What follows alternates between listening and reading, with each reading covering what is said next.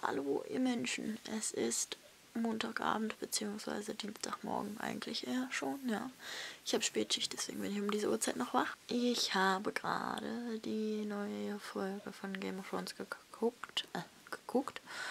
Und äh, ja, da realisiert man, dass man nur noch eine Folge vor sich hat und dann müssen wir ganze zwei Jahre warten. Ja gut. Wie soll ich das überleben? Kann mir das wer verraten? Ich glaube, das schaffe ich nicht. ich glaube, die wollen mich einfach ärgern, so richtig. Ich weiß nicht.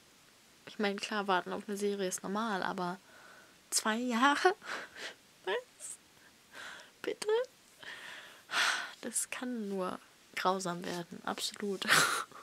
aber ich habe jetzt gestern, ich glaube gestern, oder mittlerweile vorgestern, stimmt, weil ich einfach keine dicken Bücher lesen kann, so wirklich.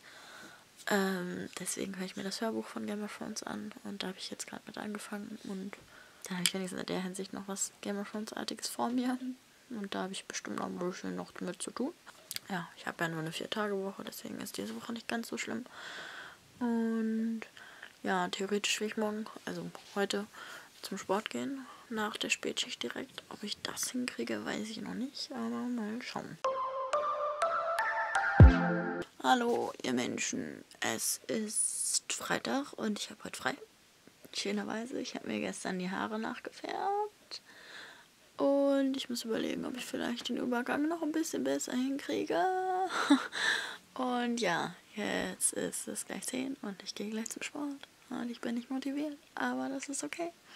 You do not belong here. They whispered into my ear, but we got in the hard way. The neon made me blink, and I cannot afford these drinks. The fuck am I doing here? Wants